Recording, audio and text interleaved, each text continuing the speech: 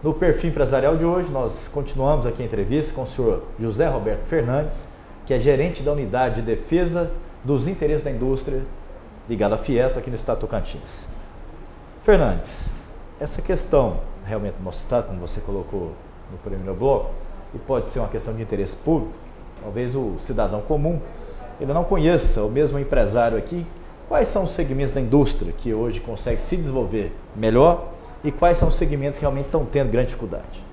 Muito bem. Vamos falar de tendências da indústria, portanto. Né? Se você olhar o cenário industrial hoje, você vai ver que existem dois segmentos que preponderam numa visão, um overview, uma visão geral. Um deles é a construção civil. É, é, é o segmento que mais emprega e que gera mais economia. E o outro é a indústria alimentícia. Olhando isso ao longo da, da, série histórica, ao longo do tempo, dá para perceber que a construção civil já foi no passado muito pujante. Acho que é um reflexo do afluxo migratório que esse Estado sofreu desde a sua criação. Né? Isso cria uma demanda muito grande, sobretudo no mercado habitacional, e também pelos programas de aceleração do crescimento do governo federal, que colocou recursos à disposição de grandes obras, de infraestruturas amplas e tal. Isso tudo acelerou o crescimento da construção civil e essa tem sido a tônica. Então, ainda é o setor que na indústria predomina. Ele gera mais emprego. E aqui ele... no Tocantins também é primeiro lugar, né? Com certeza, é isso que nós estamos acabando de dizer. Né? Aqui no uhum. Tocantins realmente é primeiro lugar.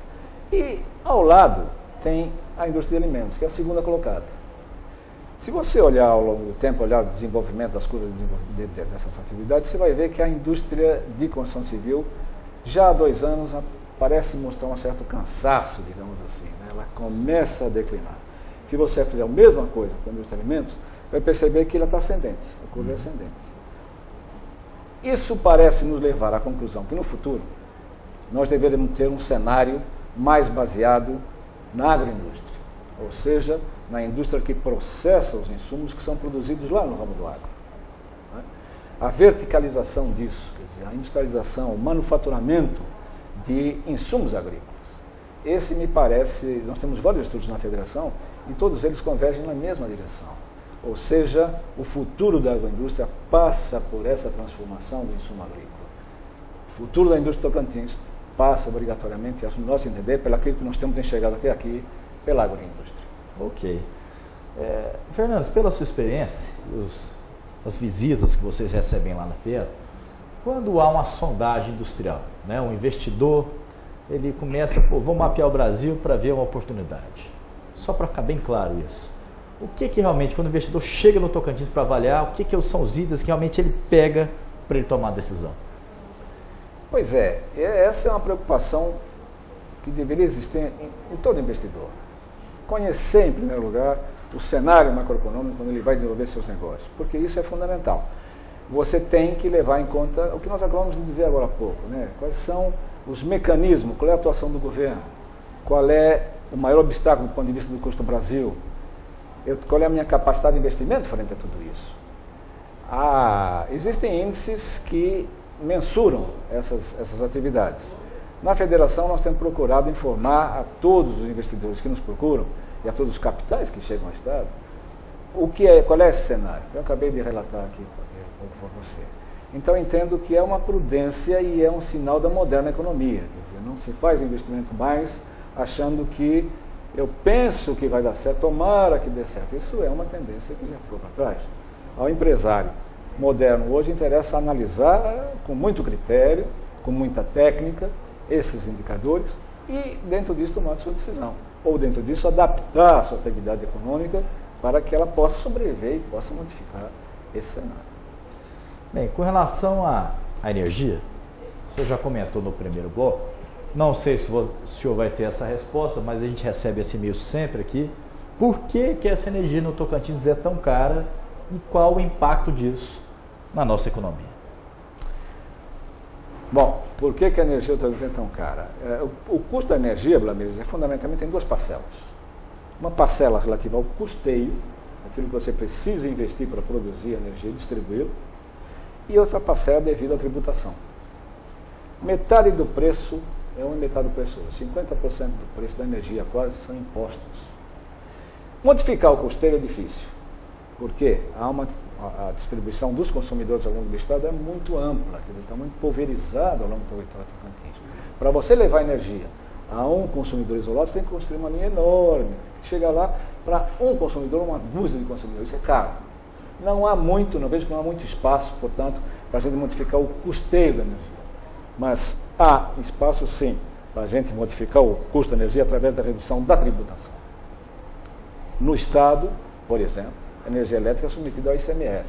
ICMS são 25% sobre o valor da energia. É pesado. E isso ainda é cobrado com acúmulo de outro que se chama por dentro, cobrar por dentro, ou seja, com acúmulo de outros tributos. Isso lhe eleva muito. Então, há um espaço, me parece, para a gente trabalhar o custo da energia, o preço da energia, através da redução dos tributos. Essa é uma coisa que levaria o Tocantins a ter uma, uma, uma energia compatível com os estados do sul-sudeste, por exemplo. Né? A nossa é a maior do Brasil. Então é mais cara que a da Alemanha, é mais cara que a do Japão e é mais cara que a da França. Isso não é possível uma economia nascente como a nossa. É um obstáculo sério e que precisa ser transposto. Nós temos que pensar em como fazer isso, tirar esse empecilho, esse obstáculo da cara do, do caminho do investidor. Uma questão que todo investidor gosta, e essa palavrinha mágica, que é o incentivo. Né? Como é que deve ser os passos do Tocantins nessa questão de programa? Que tipo de incentivo realmente seriam competitivos para esses industriais virem para cá? Blameiros, o capital se orienta pelo lucro.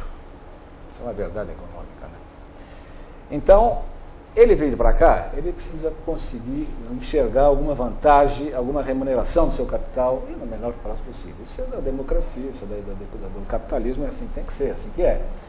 Bom, o que eu acho que ele precisa criar, eu não digo que os, que os, os incentivos não sejam suficientes, mas mais do que incentivo, eu acho que um bom ambiente, um ambiente favorável aos negócios, isso é mais sedutor para os capitais do que propriamente incentivo. O incentivo é uma parte desse cenário. Nós temos que pensar em conjunto. E o conjunto significa ter aquele plano de fundo que nós conversamos no início, nós uhum. aqui, todos eles com indicadores favoráveis. Isso não precisa fazer nem muito esforço, porque o capital localiza isso com facilidade, ele identifica isso no seu radar rapidamente e vai atrás dele. Não é preciso muito esforço para que a gente possa fazer isso, porque a gente precisa fazer isso.